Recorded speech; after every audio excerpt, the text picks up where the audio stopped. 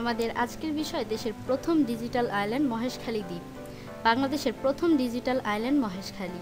এটি বাংলাদেশের চট্টগ্রাম বিভাগের কক্সবাজার জেলার একটি প্রশাসনিক উপজেলা। একই সাথে বাংলাদেশের মানুষের কাছে এটি মহেশখালী দ্বীপ হিসেবেই পরিচিত। এই অঞ্চলটি কক্সবাজারের একটি ভাটি অঞ্চল দ্বীপরূপেও পরিচিত। এটি কক্সবাজার শহর থেকে বারো কিলোমিটার দূরে অবস্থিত। বিভিন্ন ট্রলার ও স্পিড বোটে করে যাতায়াতের ব্যবস্থা রয়েছে। এছাড়া কেউ কেউ হেলিকপ্টারে করেও চলাচল করে থাকে। এটি প্রায় দুইশো বছর আগে মহেশখালী নামে পরিচিত হয়ে ওঠে। বৌদ্ধ সেন মহেশ্বর দ্বারাই এটির নামকরণ হয়েছিল।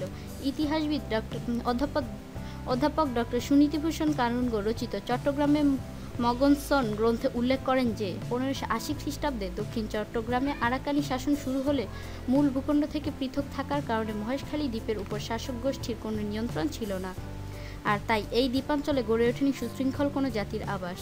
এখানে একটি সংঘবদ্ধ জলদস্যুদের আবাসস্থল গড়ে ওঠে বলে তিনি অনুমান করেছেন।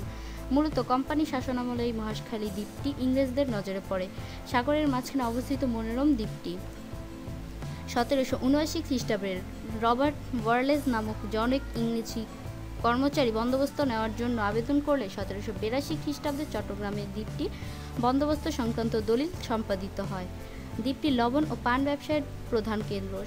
সামুদ্রিক মাছ ধরা, চিংড়ি চাষ করা এবং তা প্রক্রিয়াজাতকরণ এই দ্বীপের একটি বিকাশমান শিল্প। এটি বাংলাদেশের একমাত্র পাহাড়ি দ্বীপ হিসেবেও পরিচিত। মূল ভূখণ্ড থেকে বিচ্ছিন্ন হলেও এখানে একসময় হাতি, বাঘ, হরিণ, বানর, শিকারী পাখি সহ বিভিন্ন প্রকারের জীবজন্তুর চরণভূমি ছিল মহেশখালী। কিন্তু জলবায়ু পরিবর্তন ও জনসংখ্যা বৃদ্ধির কারণে এগুলো প্রায় বিলুপ্ত।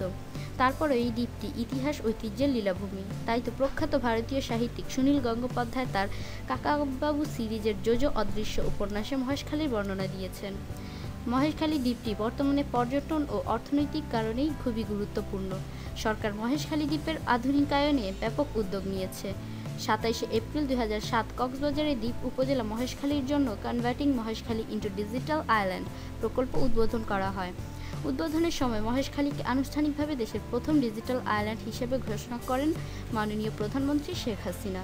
প্রায় তিনশো বাষট্টি দশমিক এক আট বর্গ কিলোমিটার আয়তনের মহেশখালী দ্বীপের চার লাখ বাসিন্দার জীবনমানের উন্নয়নের লক্ষ্যে দক্ষিণ কোরিয়ান টেলিক্স প্রতিষ্ঠানের কারিগরি সহায়তায় প্রকল্পটি যৌথভাবে বাস্তবায়ন করছে বাংলাদেশ সরকার ও আন্তর্জাতিক অভিভাবন সংস্থা। এ প্রকল্পের কাজ শেষ হবে তিরিশে জুন দুই হাজার আঠারো। প্রকল্পের আওতায় মহেশখালী দ্বীপের উচ্চগতি ইন্টারনেট ব্যবস্থা ও তথ্য প্রযুক্তির সব সেবা নিশ্চিত হবে। তবে তাদের শিক্ষা, জনস্বাস্থ্য, তথ্য ও জ্ঞানে প্রবেশাধিকার বাড়বে।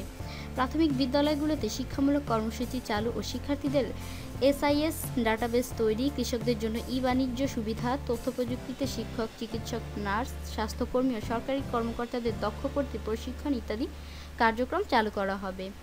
এ সেবা নিশ্চিত করা হলে মহেশখালীতে ডিজিটাল আইল্যান্ড কর্মসূচি বাস্তবায়ন করা হবে।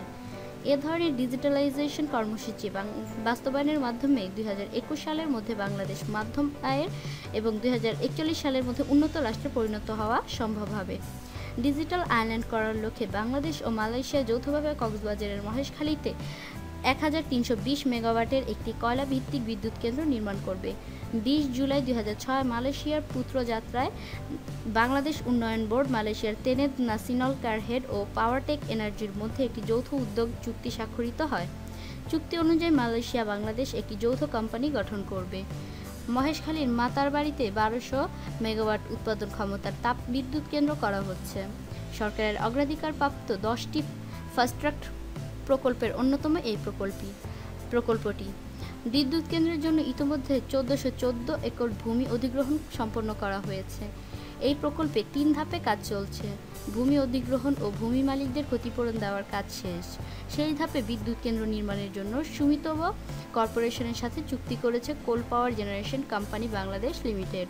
প্রকল্পের পরিবেশ, প্রভাব, মূল্যায়ন ও সম্ভাব্যতার সমীক্ষা সম্পন্ন করা হয় দুই হাজার তেরো চোদ্দ অর্থ বছরে।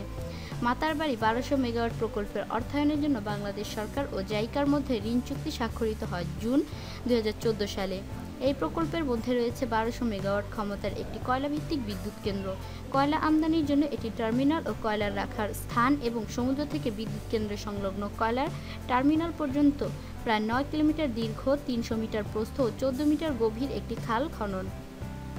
মাতারবাড়ি পাওয়ার প্ল্যান্টটি থার্মাল এফি এফিসিয়েন্সির দিক থেকে বিশ্বে সর্বোচ্চ মানের। দুই হাজার আঠারো সালের মধ্যে প্রথম পাওয়ার প্ল্যান্টটির কাজ সম্পন্ন হবে।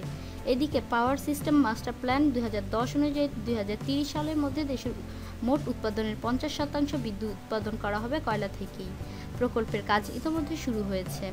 মাতারবাড়ি থেকে জাতীয় গ্রিডে বিদ্যুৎ আনার জন্য চকরিয়া মাতারবাড়ি একশো বত্রিশ কেভি সঞ্চালন লাইন নির্মাণের কাজ চলছে। সব কিছু ঠিক থাকলে দুই হাজার তেইশ সালে জাতীয় গ্রিডে যুক্ত হবে মাতারবাড়ি তাপ বিদ্যুৎ কেন্দ্রের বিদ্যুৎ। সে লক্ষ্য নিয়েই কাজ করছে বাংলাদেশ সরকার। মহেশখালী দ্বীপে বাংলাদেশের প্রথম ফ্লাটিং এলএনজি টার্মিনাল স্থাপনের উদ্যোগ নেওয়া হয়েছে। আঠারো জুলাই দুই হাজার ষোলো তারিখে মহেশখালী ফ্লাটিং এলএনজি টার্মিনাল প্রকল্প বাস্তবায়নের জন্য জ্বালানি ও খনিজ সম্পদ বিভাগ এবং এক্সেলারেটেড এনার্জি বাংলাদেশ লিমিটেডের মধ্যে ইমপ্লিমেন্টেশন এগ্রিমেন্ট স্বাক্ষরিত হয়। দেশের ক্রমবর্ধমান জ্বালানির চাহিদা মেটাতে এটি গুরুত্বপূর্ণ ভূমিকা রাখবে।